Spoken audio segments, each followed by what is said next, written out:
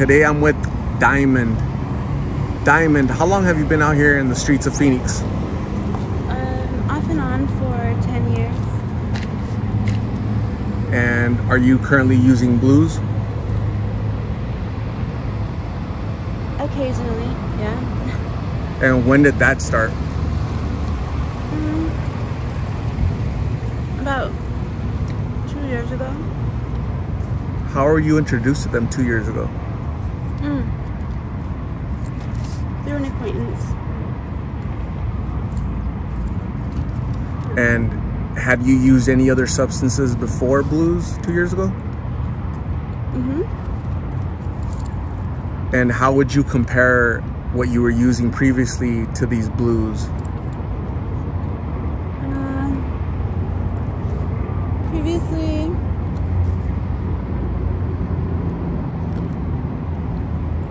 I would have to say it was because I was a lot more motivated to um, like get my hustle on, and then I made more money back then, and then also with the blues, it I find myself in like getting depressed a lot more.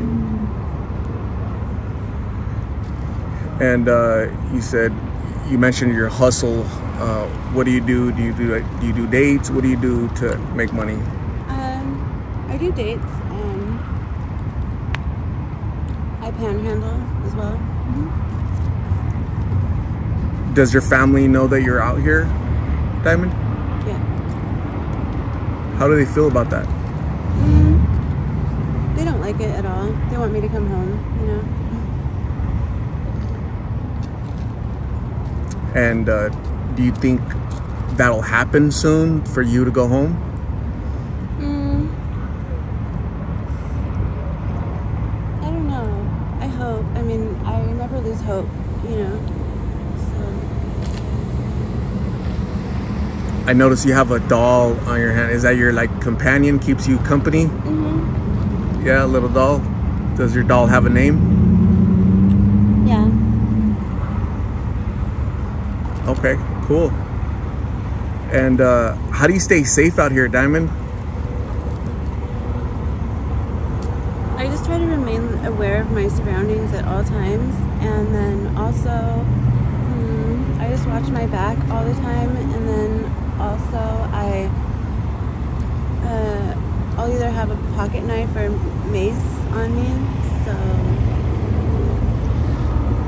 Have there been situations that were kind of scary for you uh, as far as, you know, you hustling and just being out here in general? Has there been some sticky situations for you? definitely, yeah. And I've been kidnapped, uh, not for long periods of time, but you know, if somebody locks you in their car and they don't let you out, it's you're being kid, you've been kidnapped, you know. So, yeah. When those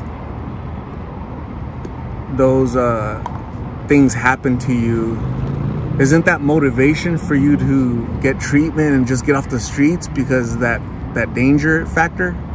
Mm. I really, I, I don't believe in treatment. I believe in uh, somebody. It's like to me, it's I have to be motivated, and I have to be surrounded with people that want the same thing for me. You know, What type of people are you surrounded by now? just people that are doing the same thing as me, getting high, and uh, that's it. Just like a street hustle, you know. Is that like your would you say that's your main goal every day is just to smoke?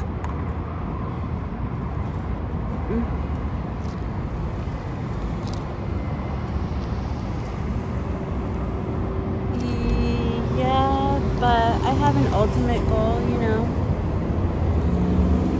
It's kind of silly. I don't I don't know. I don't want to get into it. Okay.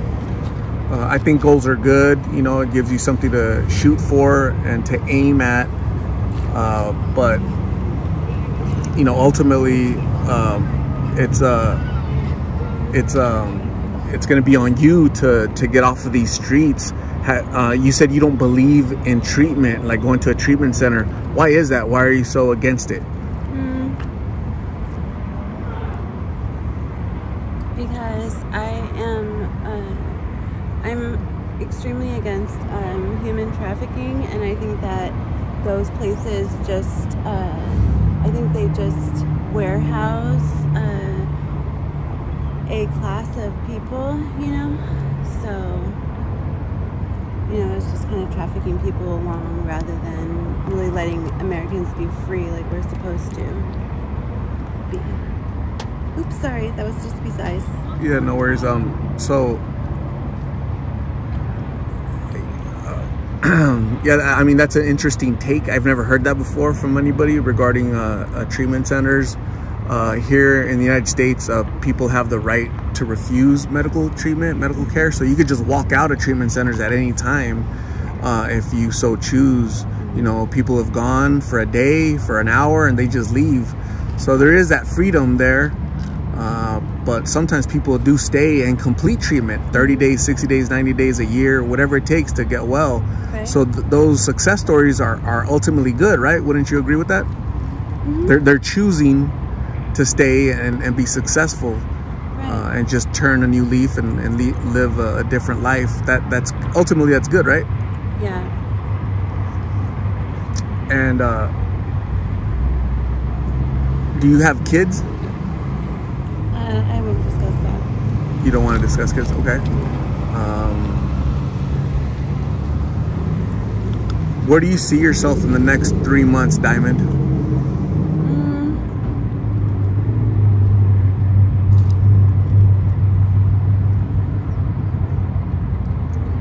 I do not have an answer for that question. You- You're probably just thinking about today and tomorrow, right? Maybe, Mhm. maybe tomorrow, but definitely today, as far as you know, what the hustle and right? the next smoke and stuff. Um, I approached you and I told you that the purpose of my channel is prevention through awareness. By you sharing your story uh, on my channel, young people can can learn from you and stay away from the dangers of these pills. What's the youngest person you've seen out here, Diamond?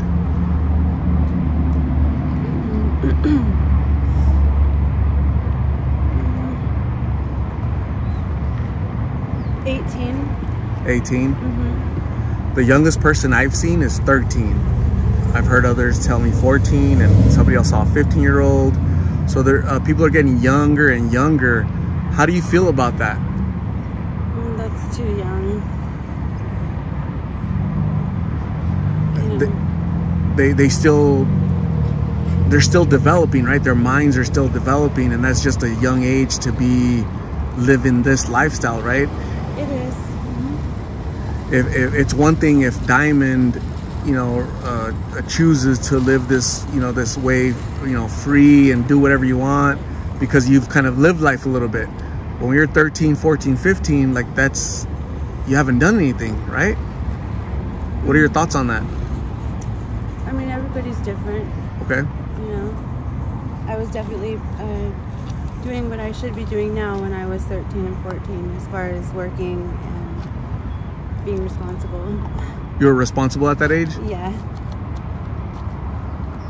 and uh, so if you're you're responsible at that age like what happened like w- was there something traumatic that happened that derailed you from that Mm-mm. No? Okay. And uh where did you sleep last night, Diamond? i didn't sleep last night You haven't slept? Mm-mm. What's the longest you've gone without sleeping? How many hours or how many days? too much Two months straight without sleeping.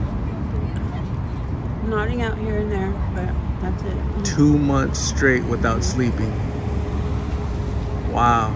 Is that because of the blues or other stuff, or what do you think? it's just being homeless and not tr- you know tr- trusting anybody that i'm around really because i'm on the street you know I've heard that a lot. Uh, uh, it's hard to sleep because you're not comfortable because you wake up and your stuff is missing or there's a man approaching you, a man laying next to you, or somebody trying to take you or grab you or touch you. Right, or you wake up around a group, group of people and you wake up and they're all gone. You know, and it, when it happens a lot, you're like, where does everybody keep going? Yeah.